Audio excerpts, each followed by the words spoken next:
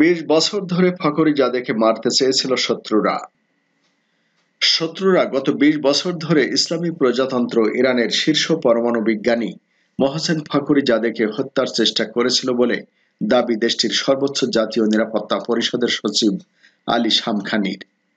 তিনি বলেছেন, ইরানি গোয়েন্দা সংস্থাগুলো বিশিষ্ট পরমাণু বিজ্ঞানী ফাকুরি জাদের উপর সম্ভাব্য হামলা এবং এরকম আক্রমণের সম্ভাব্য স্থানগুলোর ব্যাপারে পূর্বাভাস দিয়েছিল। সোমবার তিরিশ নভেম্বর রাজধানী তেহরানের অদূরে বিজ্ঞানী ফাকুরি জাদের জানাজার নামাজে অংশ নেন তিনি। সে সময় সাংবাদিকদের সঙ্গে আলাপকালে আলী শামখানি বলেন, শত্রুরা গত বিশ বছর ধরে ইরানের এই বিশিষ্ট বিজ্ঞানীকে হত্যা করার চেষ্টা করে এসেছে। আলী শামখানির মতে দুঃখজনকভাবে ফাকুরি যাদের নিরাপত্তা ব্যবস্থায় শিথিলতা এসেছিল এবং শত্রুরা সেই সুযোগের সর্বোচ্চ সদ্ব্যবহার করেছে। তবে ফখরি যাদের মতো বিজ্ঞানীর সংখ্যা ইরানে কম নয় বলেও জানান তিনি। একজন ফখরি জাদেকে হত্যা করলে শত শত ফখরি যাদের জন্ম হবে। ইরানের সর্বোচ্চ নিরাপত্তা কর্মকর্তা শামখানি বলেন, ইসলামী প্রজাতন্ত্র ইরানের শত্রুরা ফখরি যাদের শিখিয়ে যাওয়া জ্ঞান ও প্রযুক্তি এদেশের তরুণ বিজ্ঞানীদের কাছ থেকে ছিনিয়ে নিতে পারবে না।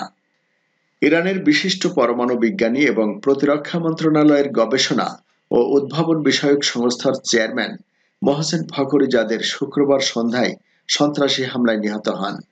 রাজধানী তেহরানের পূর্বাঞ্চলে তার কাছাকাছি অন্য একটি গাড়ি থেকে রিমোট কন্ট্রোলড বন্দুকের মাধ্যমে এই হত্যাকাণ্ড চালানো হয়েছে বলে ইরানের আধা সরকারি বার্তা সংস্থা ফার্সের এক প্রতিবেদনে প্রকাশ করা হয়েছে।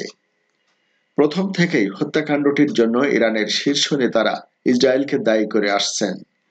ইরানের সর্বোচ্চ নেতা আয়তুল্লাহ আলী খামেনি এবং অন্যান্য নেতারা দেশটির প্রধান পরমাণু বিজ্ঞানী মহসেন ফাকুরি যাদের হত্যাকাণ্ডের প্রতিশোধ নেওয়ার অঙ্গীকার করেছেন। রবিবার ফার্স্ট নিউজ জানিয়েছে ফাকুরি জাদে গত শুক্রবার একটি বুলেট প্রুফ গাড়িতে করে তার স্ত্রীকে নিয়ে কোথাও যাচ্ছিলেন।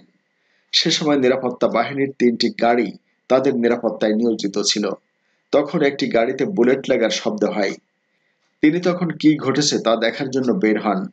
তিনি গাড়ি থেকে বের হওয়ার পরপরই একটি রিমোট কন্ট্রোল বন্দুক থেকে গুলি ছোড়া হয়। প্রতিবেদনে বলা হয় ফখরিজাদের গাড়ি থেকে একশো পঞ্চাশ মিটার দূর থেকে তাকে গুলি করা হয়েছিল। তাকে কমপক্ষে তিনবার গুলি করা হয়।